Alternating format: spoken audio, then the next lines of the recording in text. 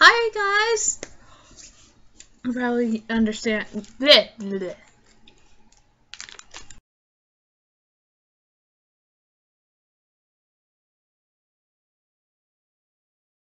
Hi guys! So you probably see from the title of this video that we have an unbagging! It's my order from Better World Books. And it's a single book because I only ordered one.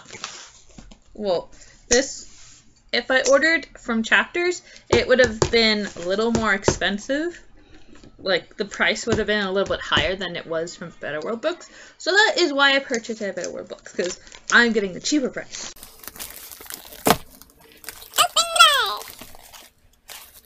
And this is the last of my orders of this month. And I have some kind of sad news for everyone.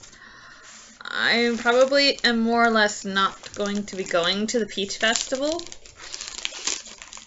because Manny really is not feeling well, and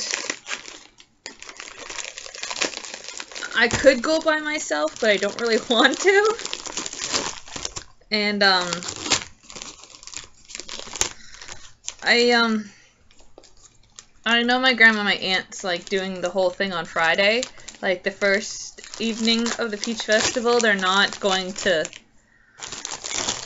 putter around to use that word to, to really do what I want to do. Like, I want to put around a lengthy time down the arts and crafts aisle and go putting down um, the commercial aisle like like a long like take a leisurely long time going down it probably go have something to eat and then go back down the arts and crafts and commercial aisle for another good long time to like really have a decisive answer of what I want to purchase.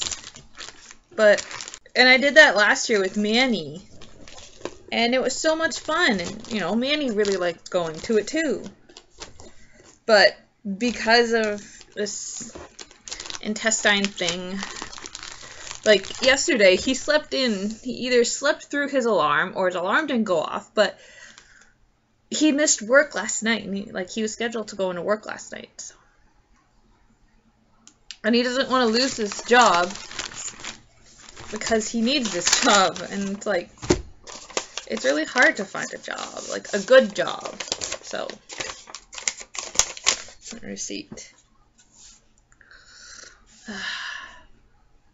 but I might be able to like you know talk to my grandma I might be able to just maybe she can take us down early and we can take our time going through it like that one time.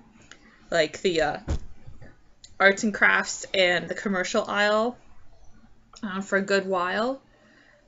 And then so that I can figure out what I want to do like what kind of purchases I want to make and then maybe go down it again and probably go, most likely go down it again with my aunts. I don't know. I still have to talk to my grandma about that. But let's get to this unbagging that I just finished cutting open and show you that I got Crouching Tiger Forbidden Vampire by Kerrelyn Sparks. It's not as fresh because this is a used book and I don't mind. It's still a really I'm donating to charity, a foundation going towards literacy programs, library programs, all that good stuff to get people to read and learning how to read and be and funding school stuff. Yeah. And guess where this came from? Yes, the New York Public Library. Woo! it's not really all that woohooing, but that's pretty amazing. It came from the, uh, that um, it came from the New York Public Library, and this it was actually from the Richmond Town branch. Take care of you later. Ooh, sixers there. So pretty. Alright, so this is my only purchase. This is all I'm showing you. Maybe I'll show you my list of stuff. Okay. So, September, I will be getting Dark Blood on paperback. I'm so excited. Like, I already have that coming in. And like that line will be taken care of. This line is going to be taken care of. Here, The Liar. I have to wait till next year to get, as I said before, the trade paperback. And then Stars of Stars of Fortune, which is also by Nora Roberts, is coming out this November. But I probably won't be getting it till 2016 November for the trade paperback because now all I want is that stuff in trade paperback. I just want all of her stuff in trade paperback. Anyway, that the only thing I really it will be purchasing is my Antiminity book, which I am super excited about because I only have what uh, three chapters left in um, here Ready Player One. I have some fantastic stuff to tell you about this in today's book review because I'm I'm seriously look like this is all I have left. This is like three chapters plus the one I'm reading, and then the acknowledgments, and it's like and about the author page, and it's like I have so much excitement to tell you about this book. I know when I first told you about this book in my previous book review, and I was just informing you that I started this. Um, yeah, yeah, I have stuff to tell you about this book. And I started this book today because I didn't want to finish reading that book while we were out this morning. So I did start this book. And by the time I get my Antiminity book, I should still be reading like this this stuff up here. So I have four books here in um the uh, Chamber Horror series. I like that series. But the last book I was I need to find is not in the same uh, printing cover of it. But it doesn't matter to me. I still have it now. And then this is book two in a four book series. I have the other two down here. So that is the plan of stuff. So yeah, that's my book buying list of stuff to do. I always want to try and get my like my the right price that I want to get it for or you know stuff like that. And because I can't per like some of this stuff, let well actually the only thing of this stuff is the Antiminity. I have to purchase that online.